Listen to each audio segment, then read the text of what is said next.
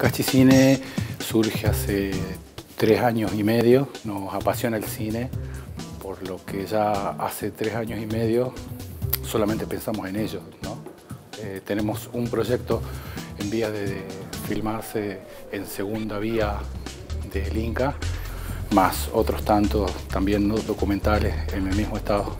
Nuestro métier cotidiano, digamos, el más periódico, es el trabajar para apoyar las producciones que llegan a la provincia, tanto las que se realizan en la provincia en publicidad como las que van llegando. Se filma mucho en el norte y hace falta siempre servicios de producción. Nosotros estamos especializados en producción. Por ahí es importante el trabajo que hacemos nosotros desde Cachi, Cine, y entendemos que es más importante el trabajo que hacemos todos juntos. El norte está como lejos de, de Buenos Aires, pero está muy compacto tenemos como mucha costumbre de estar muy pegados, ¿no?